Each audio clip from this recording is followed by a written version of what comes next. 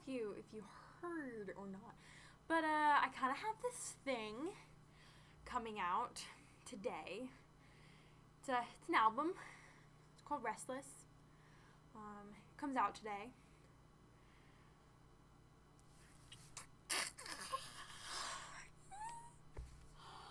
Okay, so you can get it on iTunes.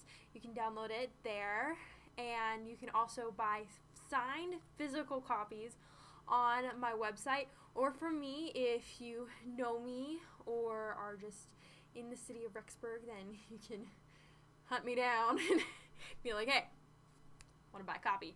And for this week only, physical copies are going to be $5 plus shipping and handling. So that's pretty awesome. So just for this first week of the release, that will end on Saturday at midnight. Um, I'm going to tell you a little bit today about the name Restless and why I chose that name. Um, there was actually a song that was going to be on the album called Put It to Rest, but uh, that song ended up not working out. So, but I still really liked Put It to Rest, and that was the original title. And part of the reason why I loved that title so much and why I chose Restless in the end is what I chose. I chose to call it Restless.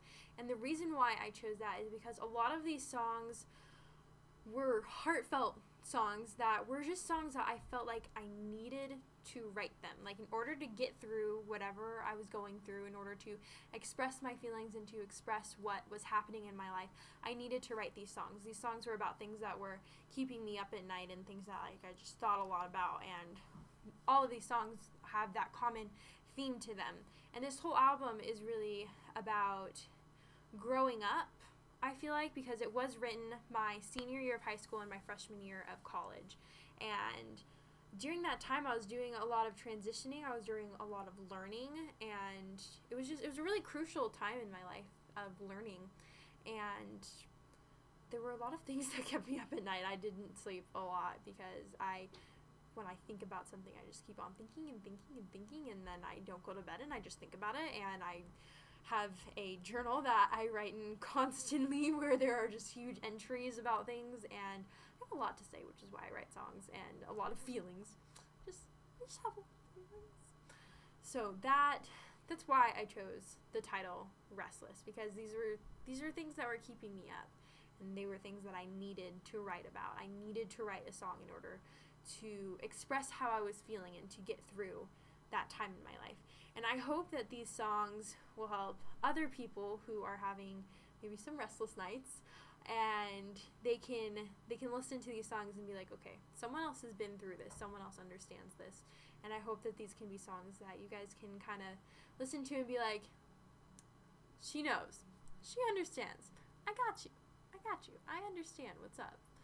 You know growing up can be really hard so that's what a lot of this album is about just transitioning and growing up and experiencing new things. So I really hope that you guys enjoy this album and make sure you go pick yourself up a copy and um, leave me comments and leave me like tweet me and everything like that. Let me know what you guys think, seriously.